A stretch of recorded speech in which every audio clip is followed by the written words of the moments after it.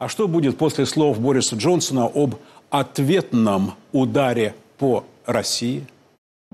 Вообще на Британских островах, похоже, заговариваются.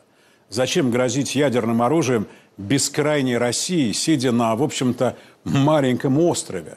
Остров столь мал, что лишь одной ракеты «Сармат» достаточно, чтобы его утопить раз и навсегда. Российской ракете «Сармат» самой мощной в мире.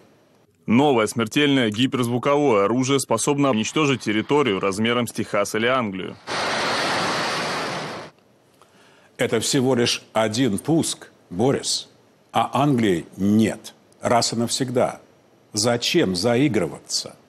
Другой вариант – погрузить Британию в морскую пучину российский подводный робот-беспилотник «Посейдон». Он приближается к цели на километровой глубине со скоростью 200 км в час. Нет никакого способа остановить этот подводный дрон. Боеголовка на нем мощностью до 100 мегатонн. Взрыв этой термоядерной торпеды у берегов Британии поднимет гигантскую волну, цунами высотой до 500 метров. Такой водяной шквал является еще и носителем экстремальных доз радиации. Пройдя над британскими островами, он превратит то, что от них, может быть, еще и останется, в радиоактивную пустыню, надолго непригодную хоть для чего-то.